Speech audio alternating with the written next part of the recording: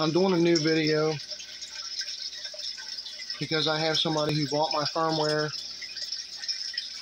that does not know how to do the upgrade with the SD card. Let me see here. Okay, first thing you got to go to system. Then you got to go down to let's see, upgrade SD disk, and then you go to that right there. Which don't take very long with this. It's a lot faster with this than the disc.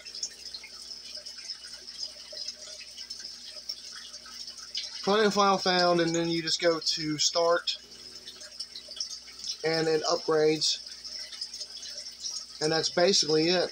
And after that, it'll reboot, and you'll go go to the wizard that uh, and um, that's basically all you need to know. But thank you for watching, and you have a nice evening. Goodbye.